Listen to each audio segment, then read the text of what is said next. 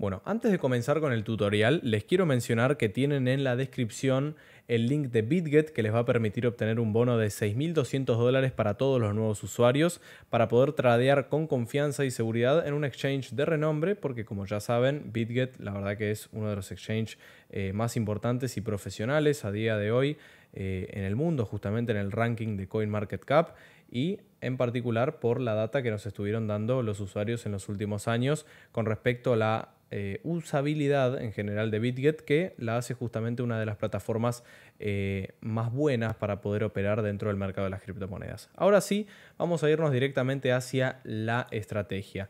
El primer indicador y último, el primer y único indicador que vamos a tener que colocar es el indicador Harsi. Recuerden que esta estrategia es para la gráfica de un minuto también. Fíjense que yo la tengo en la gráfica de un minuto. Y el indicador que vamos a colocar es el Harsi. Ahora vamos a irnos aquí a Heikin Ashi, RSI Oscillator, que sería, eh, fíjense que aquí dicen eh, Harsi, Harsi, pero el que tenemos que colocar es este, el Heikin Ashi RSI Oscillator, que aparece poniendo eh.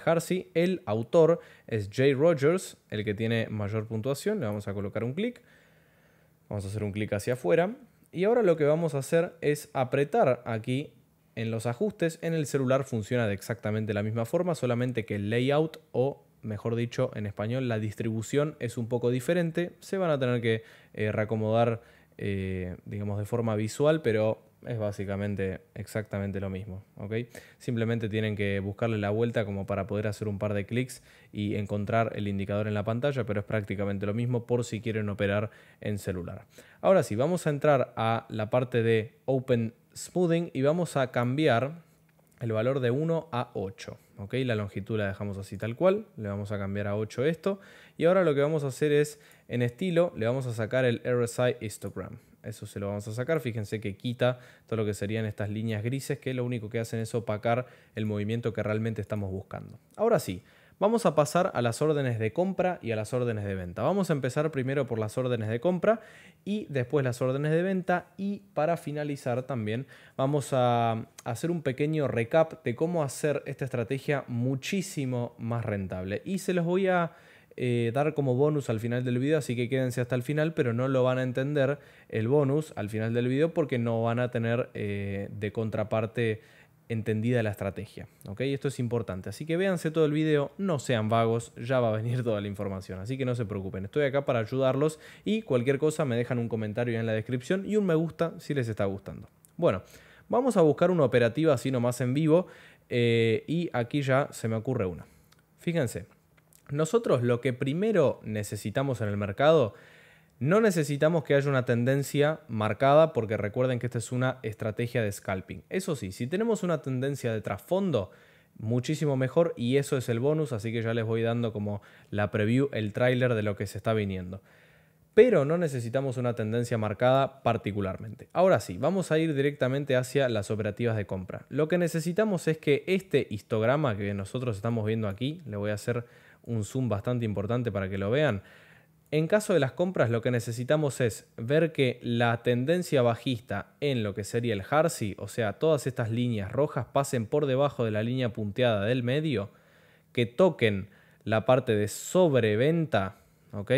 Y que luego figure una vela por lo menos alcista, ¿ok? Esto es muy importante. Que figure la primera vela alcista. Esto es lo único importante que tenemos que ver aquí en la gráfica de un minuto. Fíjense que es solamente un indicador.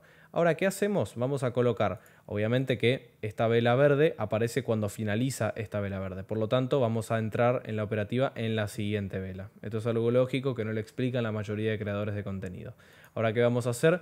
Vamos a colocar el trade en el último swing low. Esto es algo que eh, menciona justamente el, que hace, digamos, eh, la estrategia que tiene que ir por debajo del swing low.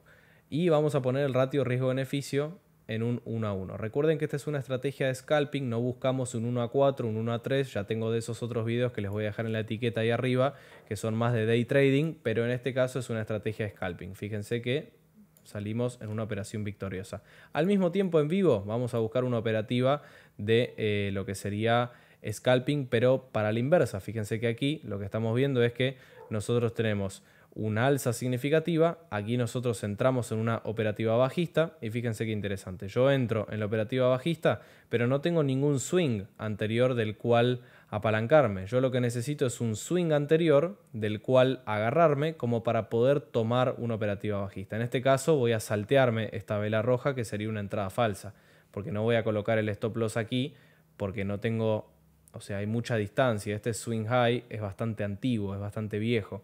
Recuerden que todo esto ustedes muchachos lo tienen que tomar a consideración de ustedes. Yo simplemente estoy compartiendo una idea que ha compartido otro trader y que me pareció una buena estrategia como para empezar y también para la gente que está en el, eh, en el espectro de los intermedios. Ahora sí, una vez que salteamos esta operativa falsa, vamos hacia la siguiente oportunidad, que fíjense que es en este caso, que ahora sí arranca la tendencia completamente bajista y viene hacia este sector de sobreventa. ¿Qué hacemos acá? Esperamos de vuelta a la primera vela. Hacemos una entrada aquí cuando termina esta vela. Cuando termina esta vela, entramos en esta y colocamos el stop loss aquí y vamos a un ratio riesgo-beneficio del 1 a 1. Si quieren, también pueden utilizar lo que sería la funcionalidad del trailing stop para que vaya persiguiendo y que no lo cierre para poder aprovechar todo este movimiento hacia la baja. ¿Okay? Eso eh, lo dejo a su consideración si es que se quieren dar eh, esa ventaja, ese lujo. Ahora sí, voy a retomar, ya planteamos las operaciones de compra y de venta. Les voy a dar el bonus dentro de un ratito, pero antes les quiero explicar una cosita, chicos. Recuerden que esto puede llegar a fallar como toda estrategia de trading, todo está bajo su propio riesgo. Fíjense que en este caso tenemos una vela bajista que nos da una entrada que lamentablemente si ustedes entraron aquí y pusieron el stop loss aquí, les voló el stop loss, no importa. Pueden continuar intentando la estrategia. Eso es algo completamente normal. A mí me pasa todo el tiempo, a un montón de traders a lo largo, del, eh, a lo largo y ancho del mundo les pasa. Es algo completamente normal, lo tienen que tomar en consideración, es parte del negocio y es así.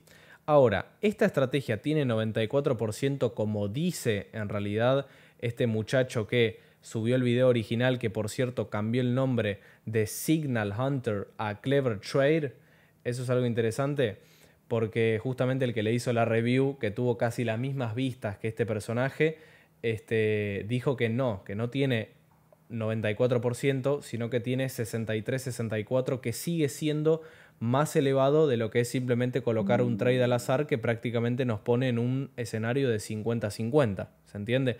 Por lo que en realidad sigue siendo una operativa rentable y él menciona que después de hacer un testeo eh, masivo, completamente verificado y en vivo por él, puede estar dejándote unas imágenes ahora, menciona que las pérdidas consecutivas máximas eran de 4, las eh, victorias consecutivas eran de 10 como máximo y que al final el win rate o la tasa de acierto, la tasa de victorias era del 63-64%. ¿okay? Así que nos deja en una posición victoriosa, es una operativa rentable, pero obviamente lo tienen que tomar todo bajo su propio riesgo, bajo su propia consideración. Es una buena estrategia para empezar como principiante y como intermedio y como ven en vivo e en directo sin hacer ningún tipo de corte, se pudieron dar cuenta que Em, agarré operativas alcistas y bajistas y también eh, de paso les aproveché a explicar una parte fundamental, una parte realista de la operativa que es la posible pérdida eh, como en el caso de colocar un stop loss en un lugar que no corresponde o cosas que pueden llegar a suceder. Así que espero que este video les haya gustado. Mi nombre es Rubén. Espero que me regalen un me gusta y que se suscriban para que sigan atentos a este tipo de contenido. Así que nada, espero que les haya gustado y nos vemos muy pronto en una próxima entrega. Hasta pronto. Y para todos aquellos fieles seguidores que no se fueron del video y tienen ganas de saber lo que es el bonus, vamos a irnos directamente hacia el gráfico diario o gráfico semanal o gráfico de 4 horas. A mí particularmente como punto intermedio me gusta el gráfico diario. Vamos a sacar lo que sería la pestaña del indicador, vamos a restablecer un poquitito esto y yo ya lo tengo premarcado. Esto ya lo he comentado en videos anteriores pero te lo vengo a repetir de vuelta.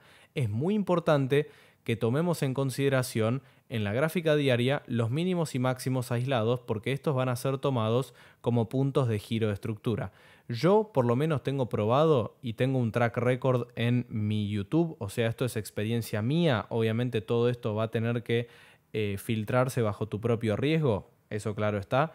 Yo ya tengo eh, bastante calado el tema y por lo menos en el 80-90% de los casos, cada vez que se cruza con un máximo o mínimo filoso, como es en este caso, fíjate que tiene una, una característica de que está bien marcado este swing low, fíjate que lo que viene a pasar es que perfora hacia abajo, toma la liquidez que se encuentra en el mercado y después perfora hacia arriba. En estos momentos es en donde tendrías que tomar, como yo lo hago, por ejemplo, operativas alcistas. ¿A qué me refiero con eso? Que vas a utilizar entonces la perspectiva alcista. Obviamente que en estos casos quizás no te salga tan bien porque todavía vas a ir bajando, pero en el momento en el que empiece a subir, por lo menos ya tenés un sesgo, por lo menos ya tenés una perspectiva en la cual poder apalancarte para poder incluso aumentar el win rate de esta estrategia. Lo que genera justamente este filtro, eh, que también funciona al revés, o sea, en este caso, como estamos viendo que luego de perforar un máximo filoso,